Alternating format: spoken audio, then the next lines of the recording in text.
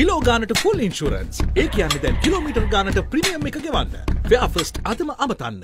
ඔබ හිතන විදිහට මේ කොරෝනා වසංගතයෙන් පසු ඒ හා සම්බන්ධව ගෙනාපු බෙහෙත් වර්ග උපකරණවල දත්තත් මේ කස්සේ මැකලා ගිහිල්ලා ඇති කියලා හිතනවද? එහෙම සැකයක් තියෙනවා? විවාදාත්මක කාරණාවක් එළියට දානවා මේ ආයතනය පරීක්ෂාව කරන්න රහස් පරීක්ෂාවට උඩින් යන මන්ත්‍රීවරු කොවිඩ් දත්ත මොකුත් මැකිලා නැහැ. ඒවා ඔක්කොම මැනුවල් කරේ කියලා. දැන් මේක හරි සැකයට තුඩු දෙන කාරණාවක් ධම්මික. අපි ආයතනයක් ඩිජිටල් කරණය කරන්නේ වේගෙන් වැඩ කරන්නේ. එතකොට මේ වෙලාවේ අපිට වේගෙන්ම කරගන්න ඕනේ වැඩ ටික තියෙන්නේ කොවිඩ් සම්බන්ධයෙන්.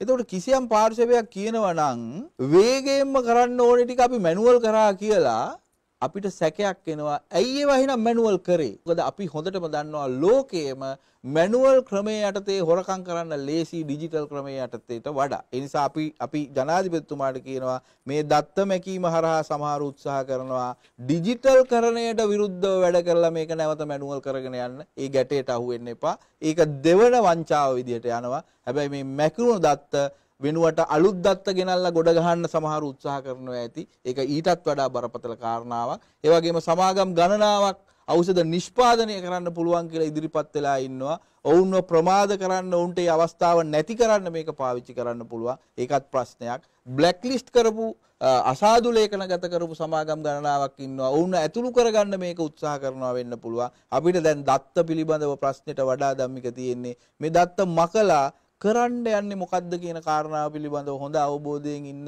තාක්ෂණික විමර්ශනයක් මේක සිද්ධ වුණේ නැත්තම් දත්ත ටිකත් හෙට අනිද්දා එළියට එයි. හැබැයි ඒ එළියට ආවේ මැකිච්ච දත්තද කාට හරි ඕන දත්තද කියන කාරණාවත් සැකසහිතයි. www.headlinenews.lk බලමුවෙන් ඉදිරියෙන්